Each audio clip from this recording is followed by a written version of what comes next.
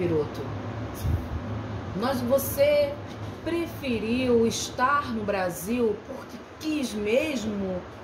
Por que essa opção? Em primeiro lugar, eu não votei no 40, então não precisa me chamar de capiroto. O que eu quero dizer para você é que eu, a minha opção de escolher o Brasil é porque o, Brasil é um povo quente, sabe? Um povo alto astral, um povo animado, um povo pra cima, um povo que sua camisa para conseguir as coisas, um povo que rala no sol quente. E você sabe de que coisa quente eu entendo. Comigo é assim, é igual Erasmo Carlos. Pode vir quente que eu estou vendo. Você já conhece o norte do Brasil? Sabendo que as temperaturas lá são muito altas, é, precisamente em Macapá, né, a capital do Amapá.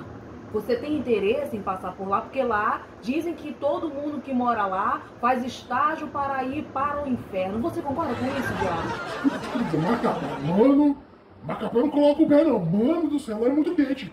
Lá é muito quente, meu amigo. Eu nunca vi lugar mais quente que Macapá. Lá o povo é bacana. Lá o povo toma um açaí geladinho. Pena que toda vez que eu vou pegar o açaí ele esquenta. Mas o povo de lá é um povo bacana. Pra morar lá, mano, tem que, tem que, tem que gostar do inferno. Porque, mano, lá o bicho pega, lá o calor é de lascar. Lá o asfalto derrete, o ovo frita e o Marco Zero Ditador, moleque, é igual coador de café. Quente pra caralho. Diabo o diabo.